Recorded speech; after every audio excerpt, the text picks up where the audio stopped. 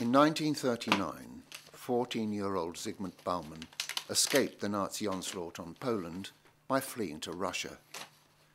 Five years later, he returned as a convinced communist working with the secret service of a Polish army fighting under Soviet command. After the war, he became an academic who gradually rejected the official version of Marxism. In 1968, during a state sponsored anti Semitic purge, he left Poland for Israel. As a non Zionist, he was unhappy there, and in 1971 joined Leeds University, becoming one of their most illustrious professors. He has published more than 50 books, seeking to understand the society we live in, and in his ninth decade is still writing.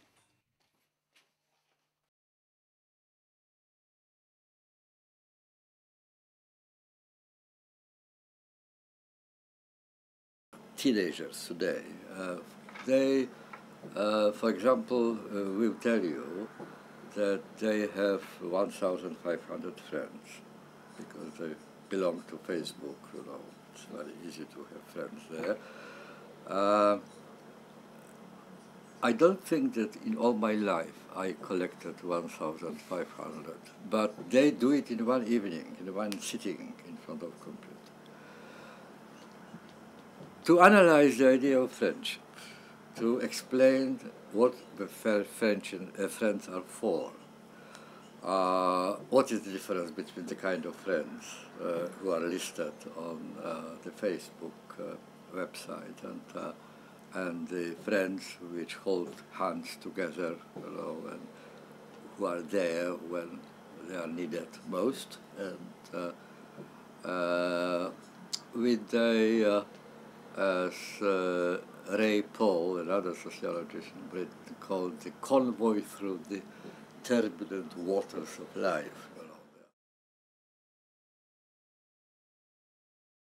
For the time being, we are watching uh, uh, Apprentice, Apprenticeship, uh, the Apprentice. Sugar, yeah. The Apprentice. yeah, The Apprentice, or uh, Big Brother. They have their absolutely the same uh, message is uh, conveyed by them, namely that uh, every week somebody must be kicked out. That is a law of nature. That's beyond dispute. And the only problem is who will be, me or him. Uh, so the message is absolutely anti-solidarity message. You can't gain by cooperating. There are more and more of people who are not only deprived of jobs, but who really believe themselves to be unwanted and redundant. Society would be better off if they disappeared somehow. That's, that's the most tragic aspect because that leaves a trauma which even uh, relative uh, recovery won't cure. Uh, that's, that's, that's the problem. I came to the conclusion at the end of my life, with one foot in grave, uh, that uh, just society has only one definition. Just society is a society which doesn't believe that it is just enough. I believe that there is no such thing as once and for all, for eternity, just society but I believe deeply that people will never stop looking for it.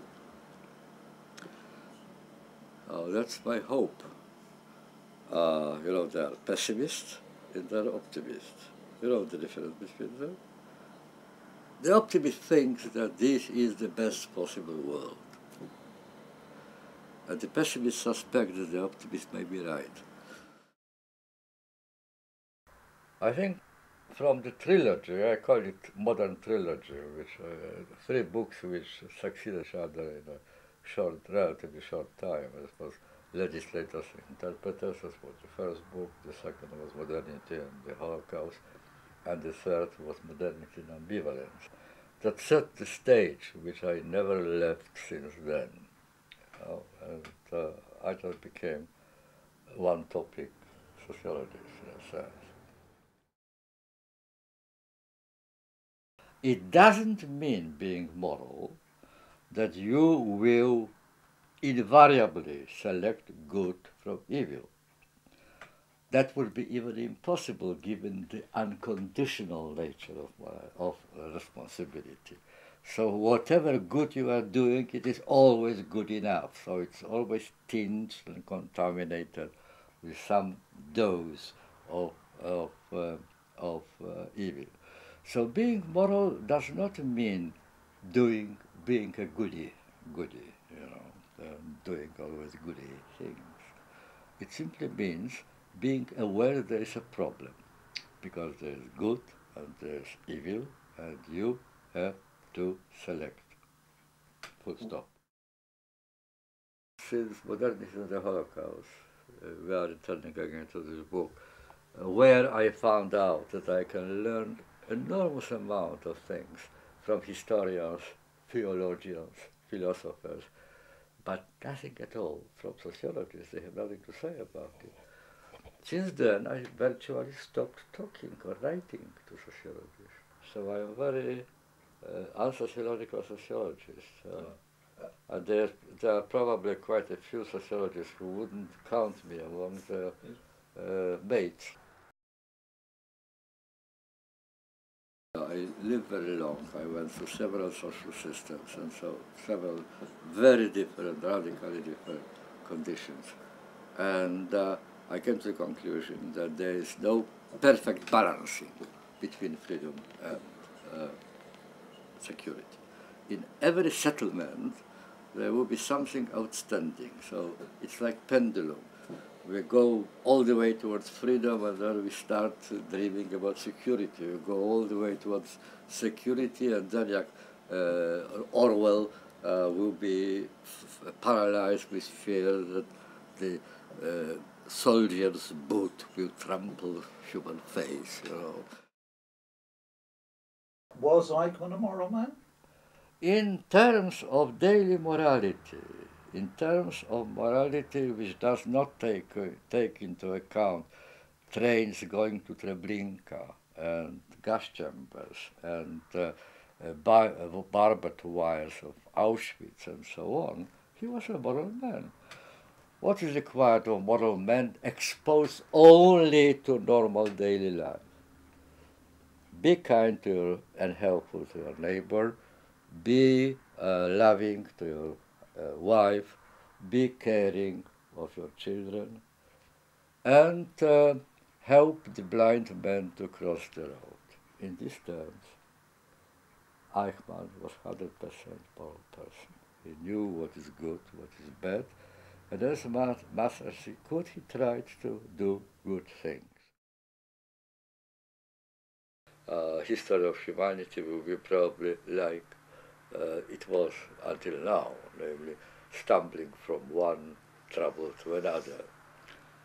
But uh, I wouldn't say that I'm an optimist, I wouldn't say that I'm a pessimist, I told you many times already that.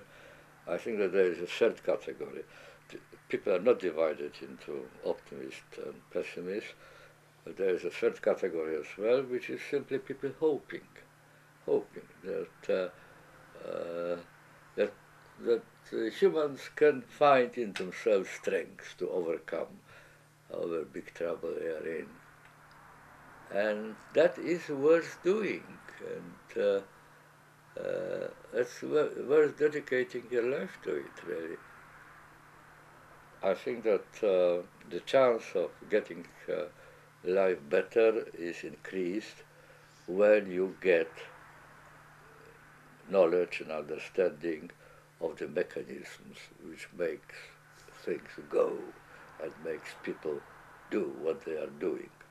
Without that knowledge, the chances will be smaller. I, am not saying that uh, getting this sort of knowledge is a guarantee that uh, the purpose will be achieved, but it makes it more, a little bit more probable. So it is worth doing.